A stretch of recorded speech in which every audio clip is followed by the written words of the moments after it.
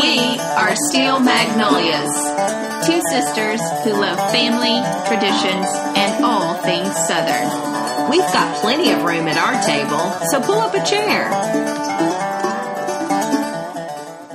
Hey, Lainey. Hi, Laura Beth. Well, I thought it was really funny that a couple of episodes ago, when we talked about potato salad, Yep. we had a listener that said, I really wish you would have given a disclaimer before starting into that, that we were going to get hungry.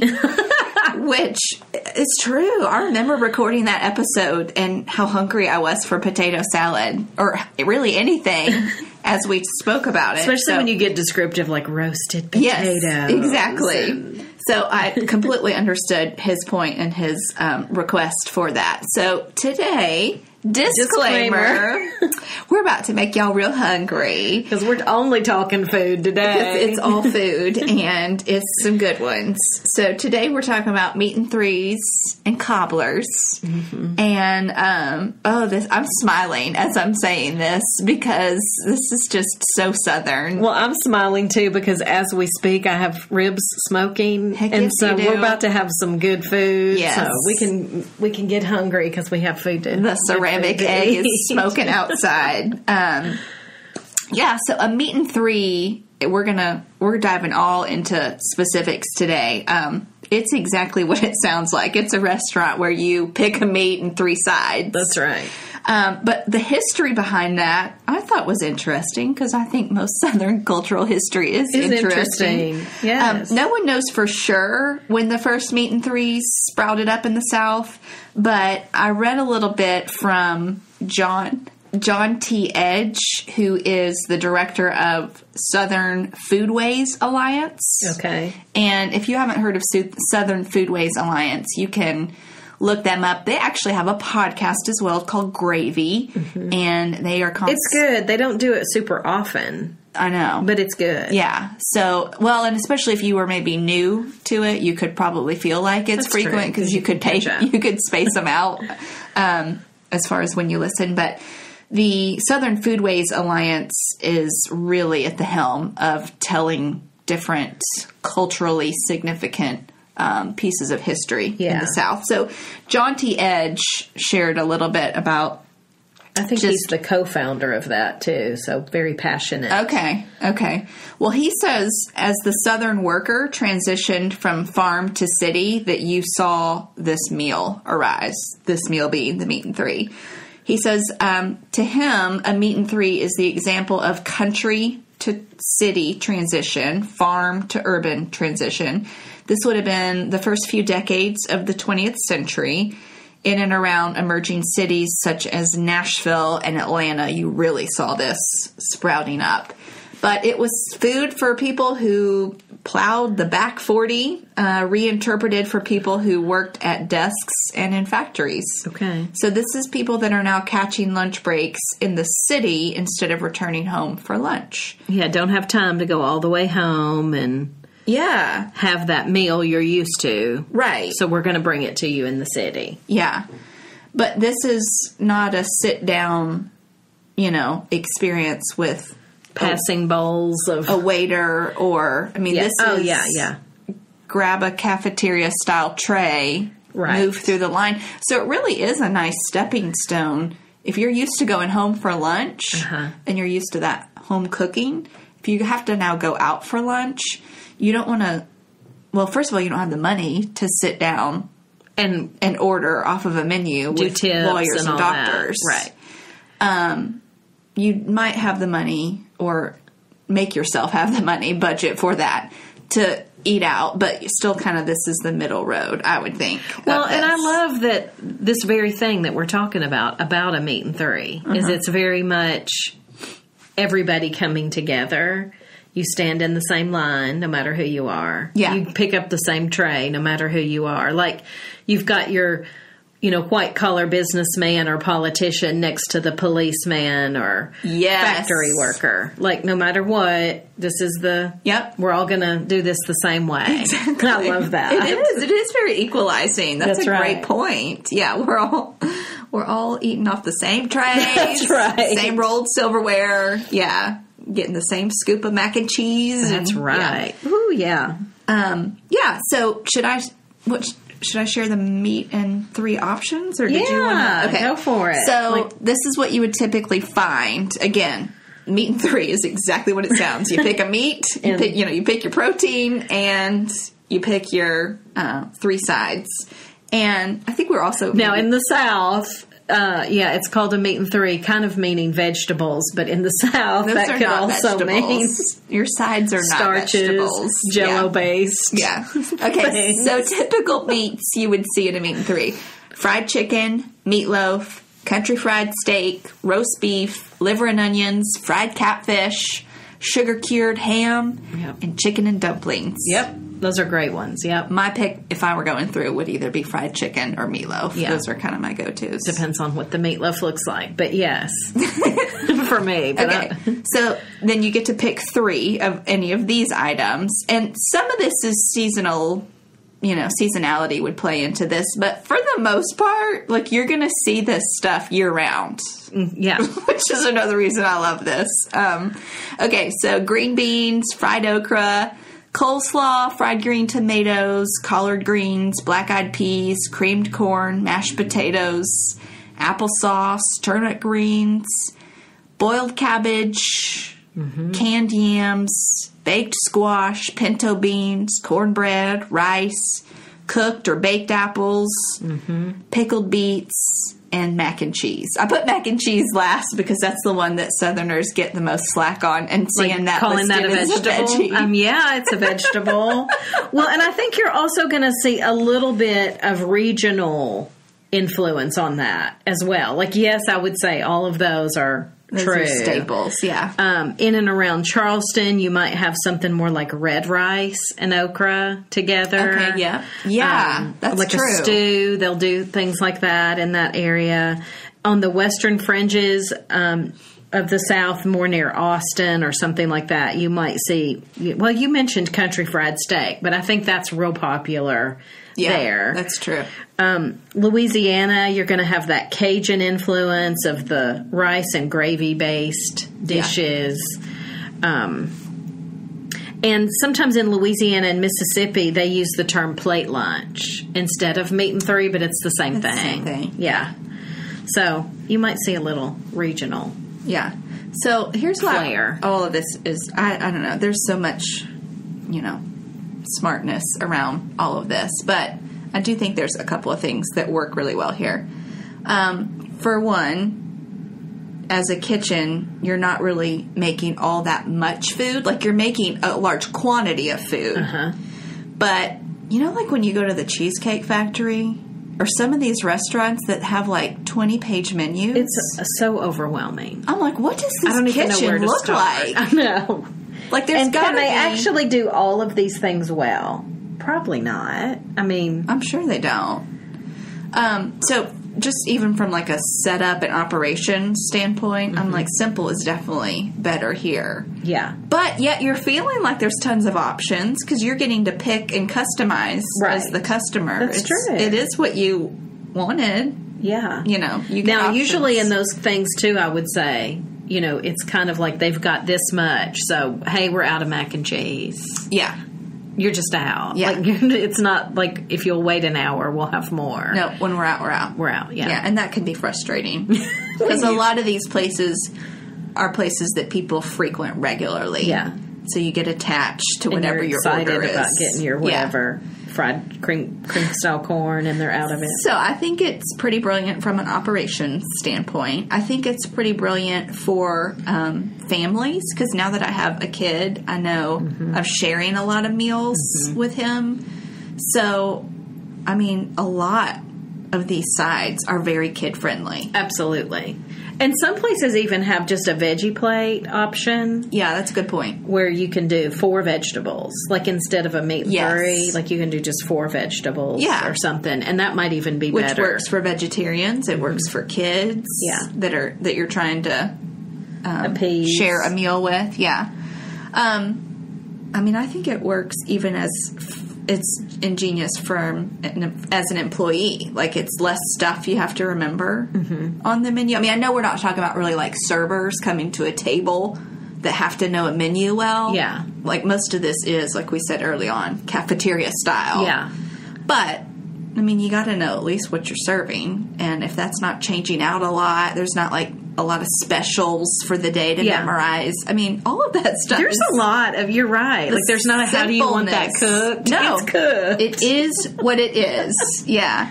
Um, so anyway, I just think, and I don't know if we said this early on, but um, most of this is lunch. Some of these are open for dinner. Some of the establishments, and we're going to talk about some of the best ones around. But primarily, this It's is a lunch This thing. is a lunch Yeah. meal. Um, so I found um, a list of some good ones. You found a couple of lists. I did. I have two different lists. We cross referenced all of our lists and came up with the three that netted Made out every list. of, of the three lists. So we're going to for sure mention those. And then there's al- also ones that are popular that um, are worth worth noting as well. So And you can let us know your favorite Absolutely. as well in your state Yeah. or your city. Um, so this first one that is in our hometown, I'm embarrassed to say I've actually never been to. Well, So I do need to. we need to do it, and I tried to go recently, and the line was so long, and I was on a limited time frame. That's what you so have to be prepared for, it's no matter what time if you go here. So Arnold's Country Kitchen Yep. in Nashville, Tennessee, opened in the early '80s and is a staple meat and three. Um, Very simple cinder block building, like not fancy at all, on Eighth Avenue. but I mean, it received the James Beard Classics Award. Yeah, This is this, this place. It's been on Food Networks, diners, drive-ins, and dives. It's it's known. It's now. very known. It's uh, that's one of the places that Anthony Bourdain hit when he was Oh, yeah. here, and Yeah. I miss him. Yeah, so Arnold's was on all the lists that we consolidated. of course, we've heard about it a lot. That it, this being in our hometown. Another thing I love about all these is this meat and three is usually around ten dollars. Oh, good point. You know, I Price mean, point. I think Arnold's is nine seventy four or something like that. Like it's usually ten bucks. Yeah. for a very hearty meal. Yeah, That's so awesome. it really is.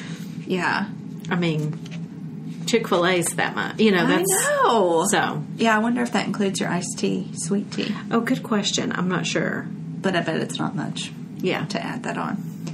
Okay, um, And it's uh, a Monday through Friday place. It's not open on the weekends. Arnold's is yeah. Oh, that's it's good to Monday through Friday, so it's hitting that work crowd. do you have its hours? Is it lunch Ten thirty to two forty five. See? Lunch and only. I mean, if you're getting in line at two thirty, forget it. Like, Yeah, if You're you're, getting in line at 10:30 though, the way I just said that is correct. There's probably a line at Mm-hmm. 10:30.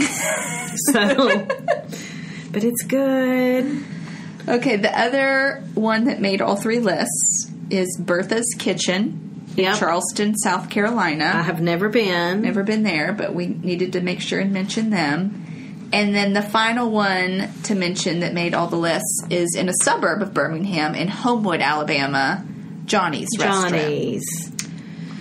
Yeah, so Johnny's is known for their squash casserole, um, their caramelized onions and rice, and what is this? And cheese under a oh caramelized onions. I'm sorry, this is all the squash casserole. This sounds so good. Oh, my. Caramelized onions, rice, and cheese under a buttery blanket of Ritz crackers and Parmesan. Ooh, yum! so good. And then Bertha's is known for their okra soup, which is very low country. thing. Okay. So that's that makes Um, sense then. and Arnold's. It mentions in this list the meatloaf ladled with rich tomato gravy is Ooh, I would love something that. to try. So all right, I would there's the one there. that made all three lists.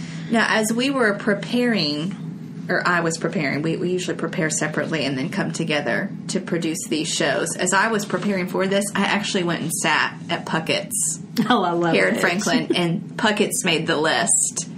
I love it. The ones I looked at. I looked at a list um, from southernthing.com, which is 20 Southern meat and threes to try before you die. Oh, that's cute. So um, I did want to mention Puckett's just since I had uh, literally sat in their restaurant as I prepared for this show today. Well, the list I was looking at was from the American Southfield Guide again. It has a list and touches probably every state in the South.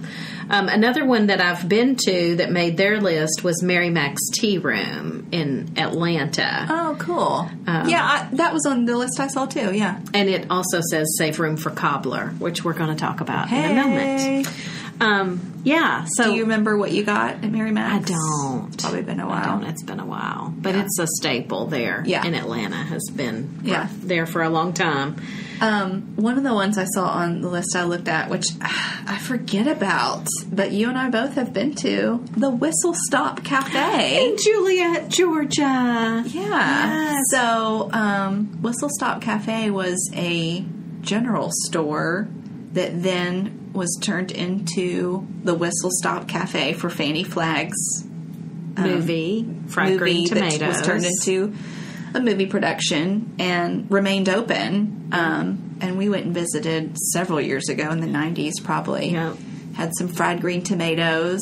It was yummy. such a tiny town. Like, there's a few things that were shown in the movie there, but it's not much of a yeah. Yeah, you would probably be going for that reason. I don't think you'd be passing through. And another one that was on one of the lists I looked at um, that you and I have been to even recently was the Elliston Street, the Elliston Square Soda Shop. Oh, yeah. They do meat and three That's there true. as well. I think of it more as an ice cream soda I shop, too, but yeah. they do a meat and three there, and Okay.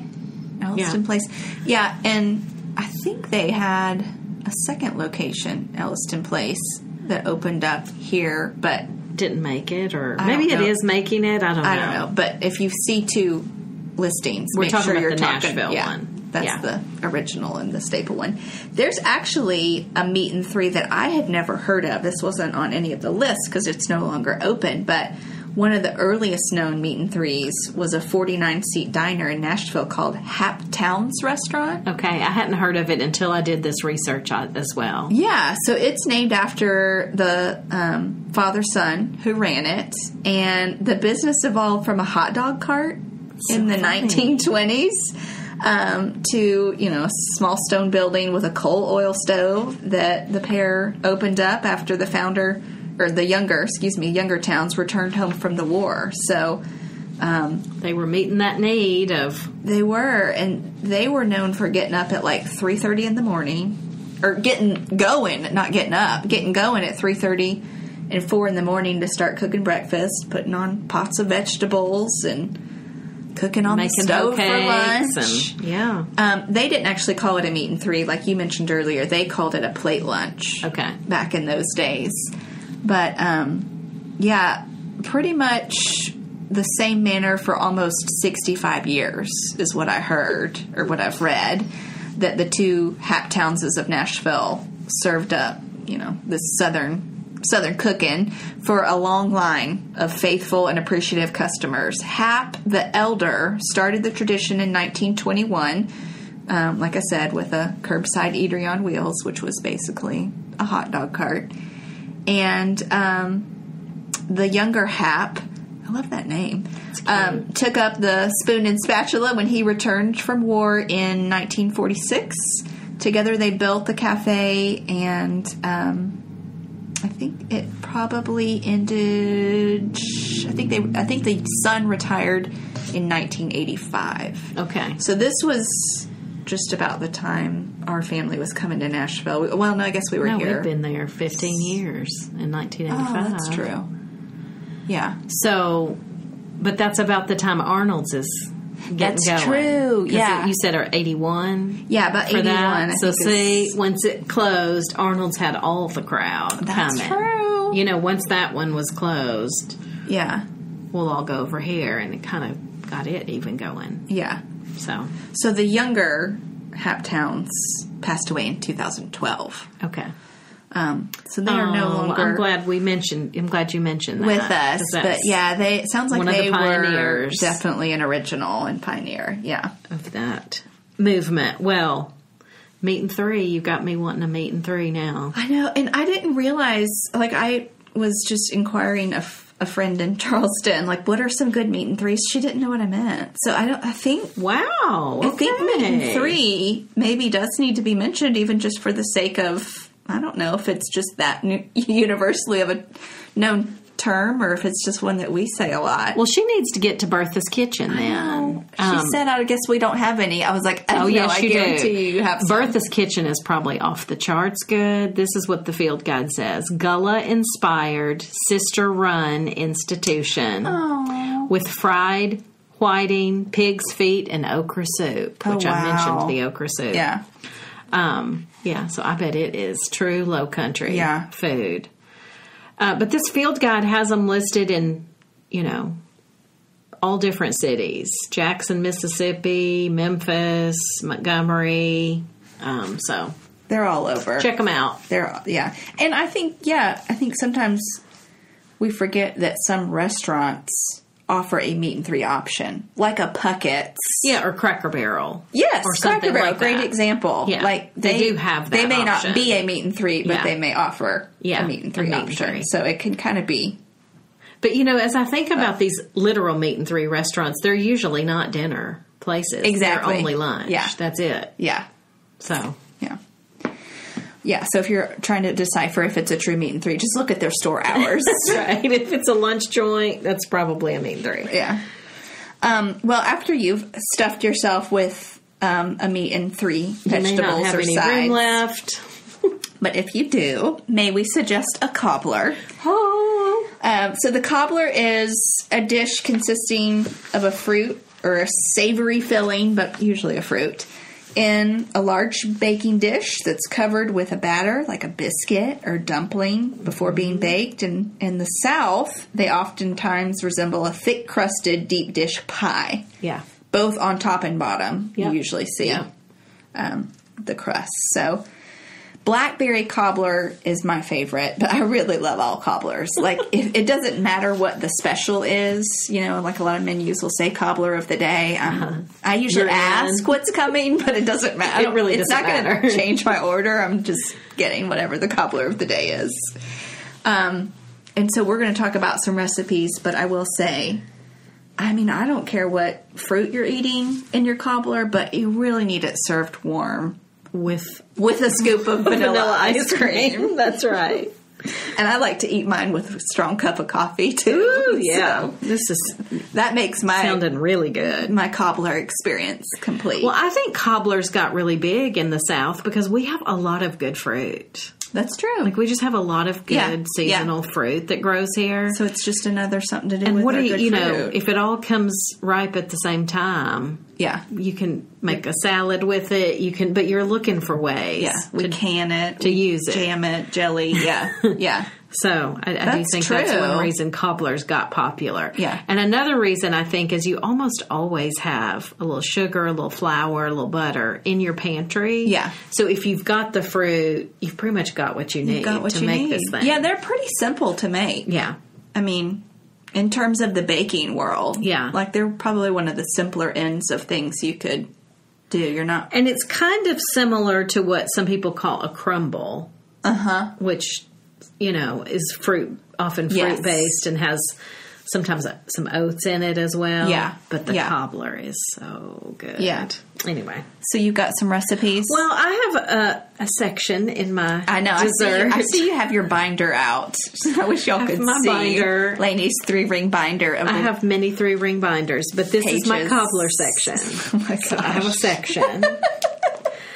um, but you said blackberry is your favorite. Peach is my favorite. Okay. I love a good peach cobbler. And I've mentioned before my go to is Southern Living. It should be. For recipes. Yeah.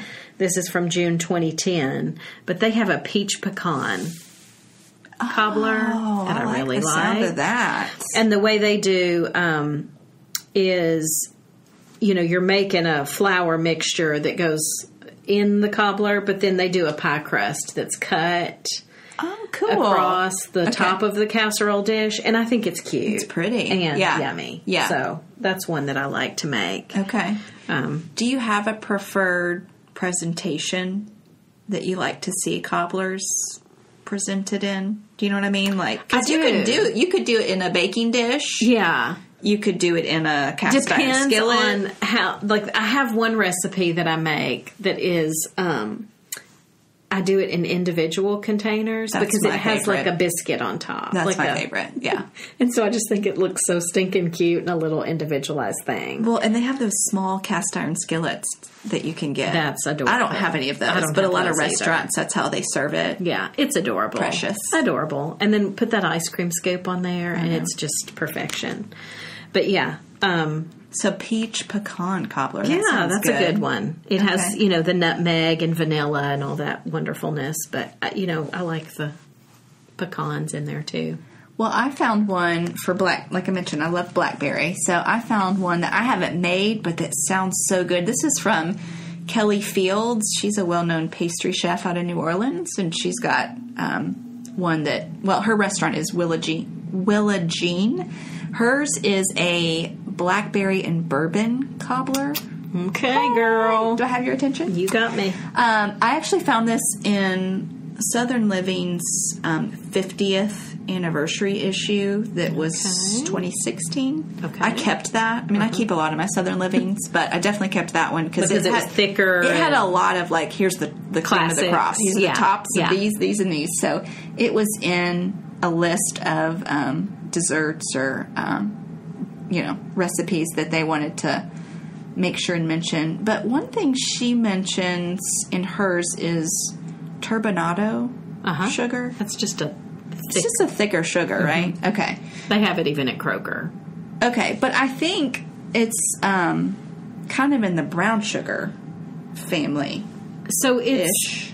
Is does she put it on top at the I end? think so, yeah. So a lot of times you'll do like an egg white Okay. to kind of make it stick on, Oh. and then that sugar. Have you ever seen a I've dessert that has like bigger sugar chunks? Yeah, and it's I kind of thought it was raw sugar though. Usually that's on there. Th- this sounds a little different. Well, I don't know all my Yeah, but No, you're really I've good bought at the this, though. turbinado sugar, and it's coarse, yeah, and it shows up on there nicely. yeah. And I think it has like a molasses kind of flavor, hmm. or at least that's what that I was reading online. great. So.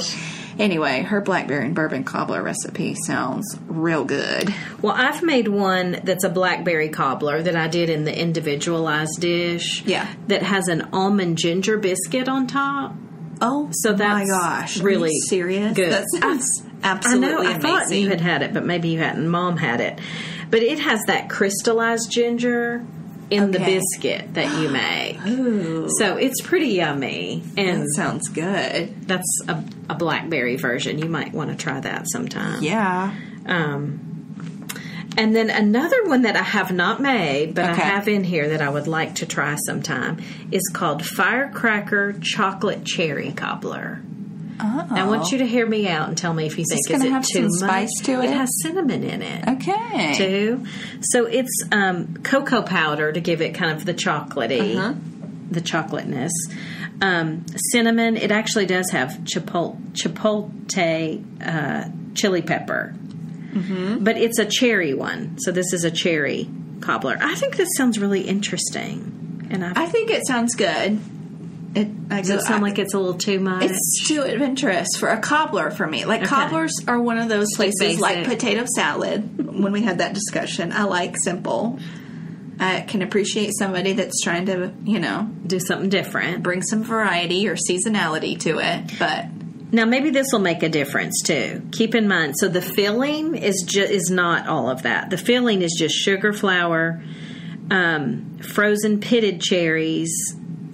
That's Okay. your that's your cobbler part. okay. The topping is what has the cocoa and the Oh. and the kick in it. Oh, okay. Does that make sense? Yeah, And yeah. then it's also served with the ice cream. Right. So it's more your flour part. Yeah. That's got the Okay. chocolate and Okay. kick in it. Okay. I just think that sounds kind of I mean- yummy. I wouldn't mind trying that one. Hey, But the other two I have tried. Yeah. And they're both Yeah. tried and true. they're good. um, so you said peach was your favorite? I just love peach. Yeah. Yeah, yeah. I just think if the peaches are good and ripe, Yeah. that's kind of hard to beat for me. Yeah. I had a good peach cobbler when I was at Puckett's researching this. That the was their, their cobbler of the day. I know. It was so good. Yeah. Yeah. Just a warm cobbler with cold ice cream. Yeah. So yummy. But I think you usually have to order it with the ice cream.